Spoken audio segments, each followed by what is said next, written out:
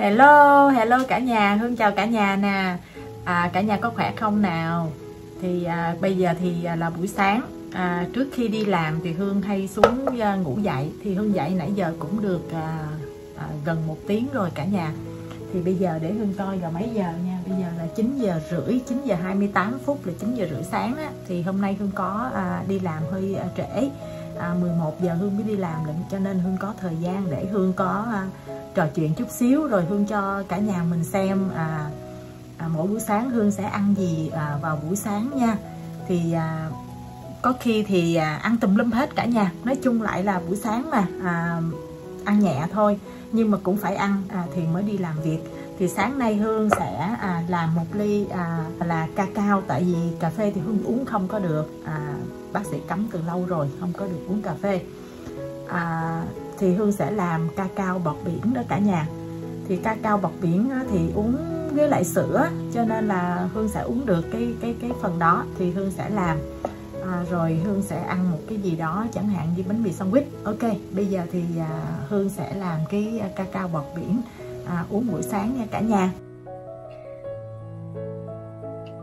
Rồi Hương bỏ vào đây là 4 muỗng à, ca cao nha cả nhà. Đây cái à, bột ca cao của Hương nè đó. Thấy không? Bột ca cao của Hương đó. Thì Hương sẽ bỏ vào đây là bốn muỗng. Và không nhất thiết là là là là à, là bốn muỗng như thế nào hết cả nhà. Ừ, không quan trọng lắm. Mình cứ bỏ vào đây bốn muỗng. Rồi Hương lấy cái này luôn. Hương sẽ bỏ vào đây là bốn muỗng đường luôn ha. Rồi đến vào đây là đường nha cả nhà.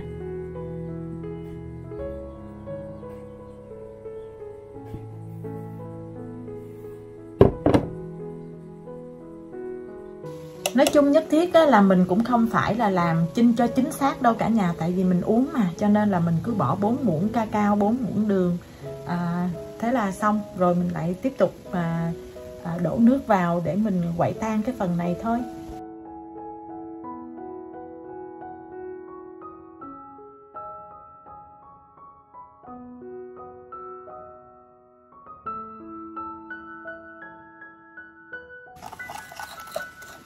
Thì mình sẽ bỏ vào à, vài muỗng nước nữa nước nước nóng á cả nhà chứ không cần phải là sôi đâu. Mình bỏ vào vài muỗng à, nước nóng như thế này mình quậy cho nó tan ra đó. Quậy cho nó tan cái đường thôi đường với cacao nó quện lại với nhau. Đó. Thì à, khi mà mình làm như vậy đó mình phải làm cho nó thật là nhuyễn nha cả nhà. Thì khi đó mình đánh nó mới bông lên nó mới à, nổi cái bọt biển lên được ha. Ừ, mùi ca cao nó mạnh và nó thơm dễ sợ luôn đó cả nhà. Thích luôn á chứ. Thơm lắm cả nhà ơi. Rồi bây giờ thì à, Hương bắt đầu bỏ à, uh, Wisdom cream vào ha. Đây à, Hương thì Hương sử dụng cái này ha Wisdom cream này. Thì cái loại này nó là heavy nó hơi bị nặng nặng cái cái cái cái kem một tí xíu à, tại vì hương mua cái loại mà nó nhẹ mà nó hết rồi cho nên là hương có cái bình này nhưng cái bình này hương mua cũng mấy ngày rồi không biết còn xài được không nữa cả nhà. Để hương coi lại cho. Ồ oh, xài được má không sao hết. Còn còn tới mấy ngày nữa rồi cho nên là mình vẫn xài được thì mình trước khi xài mình lắc lắc đều đi cả nhà. Bây giờ thì hương sẽ bỏ cái Wisdom cream này vào trong đây và hương sẽ đánh lên cái bọt biển nha. Rồi hương bỏ vào đây là một muỗng nè.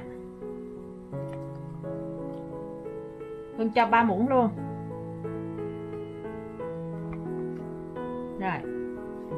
Ba muỗng à, ba muỗng canh đó cả nhà. Rồi, sau đó thì à, mình cũng phải à, quậy cho nó thật là đều với nhau. Rồi sau đó thì mình mới dùng máy mình đánh nha cả nhà.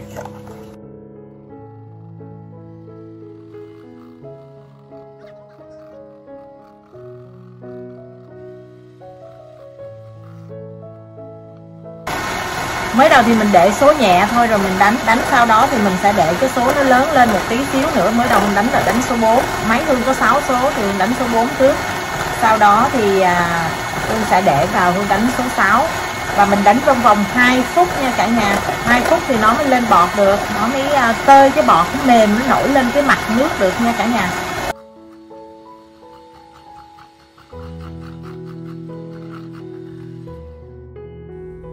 Thì khi mình dở lên nó có cái chấp nhọn vậy là được nè cả nhà. Cả nhà biết không? Tại vì cái tô của hương nó nhỏ đó thì cái máy này nó có hai chấu lận nhưng mà hương gắn vô có một chấu thôi cả nhà. Tại vì cái tô của mình nó nhỏ quá cho nên là mình gắn chỉ hai chấu mất công mình rửa nữa. Một chấu cũng được mà. Rồi bây giờ thì cái bọt biển của hương hương đã đánh xong rồi thì bây giờ thì hương sẽ bỏ vào sữa và mình sẽ uống thôi. Và mình làm một bánh mì sandwich nữa cả nhà. Rồi đây là cái ly của hương nè cả nhà. Ly nhỏ không? Quá nhỏ ha. Thì hương sẽ bỏ uh, sữa vào đây trước khi bỏ sữa thì hương sẽ bỏ nước đá vào.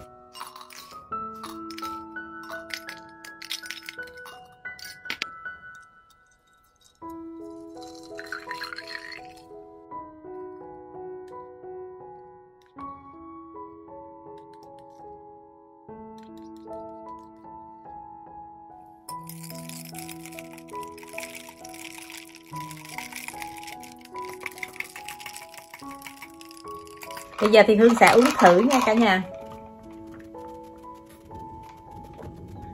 Uhm, ngon quá cả nhà ơi. Uhm. quá ngon luôn quá tuyệt vời luôn cả nhà. Không có ngọt lắm. Bây giờ thì hương sẽ làm cái đồ ăn sáng của hương. Cho vào một cục bơ như thế này. Rồi cho vào một quả trứng. Thì đây là cái hộp bánh mì sandwich của Hương nè. Hương sẽ lấy hai miếng.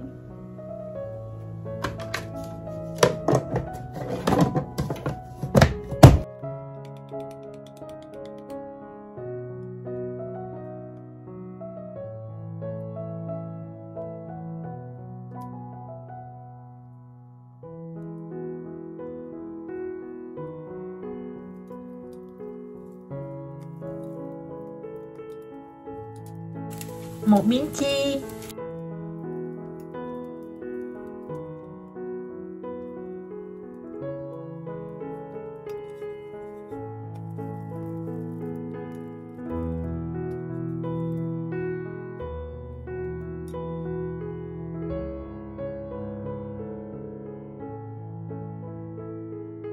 Đây là bánh mì của Hương nè.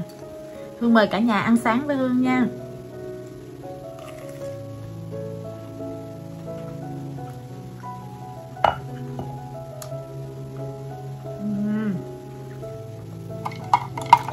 Ngon lắm cả nhà ơi. Tại vì à, cuộc sống ở bên Mỹ mà nó không có giống như Việt Nam đâu cả nhà.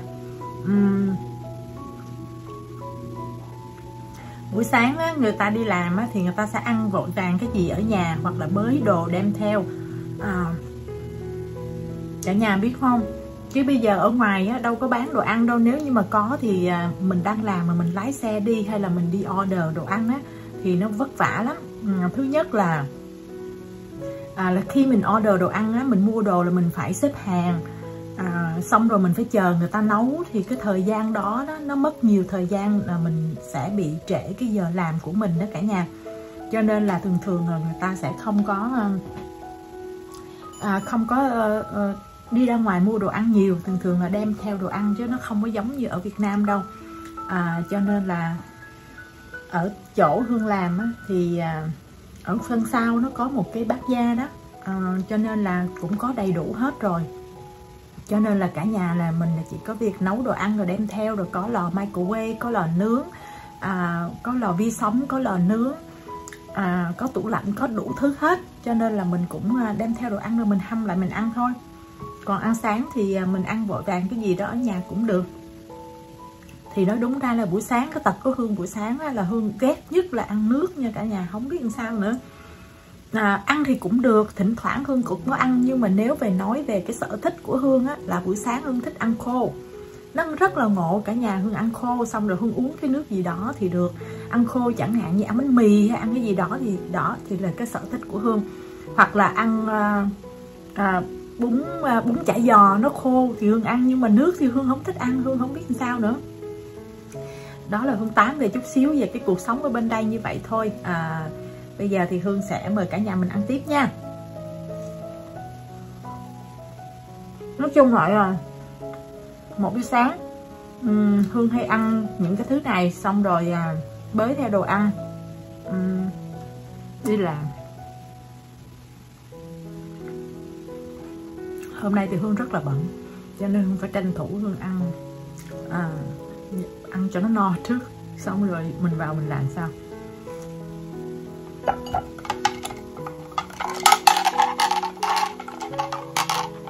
Hương mời cả nhà uống nha.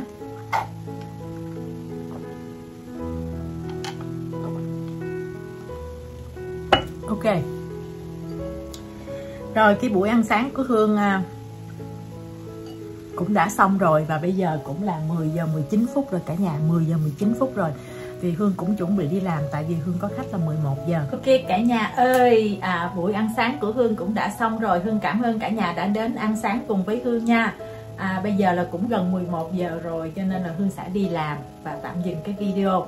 À, cái video này Hương làm là để làm kỷ niệm cho mình về sau này mình có già đi thì mình sẽ coi lại cái cuộc sống đời thường hàng ngày của mình à, bây giờ như thế nào? À, và hương rất là à, vui và hạnh phúc khi hương làm được những cái video về cái cuộc sống đời thường của hương như thế này.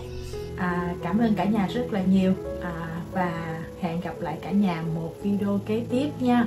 Thank you. Bye bye cả nhà. Bye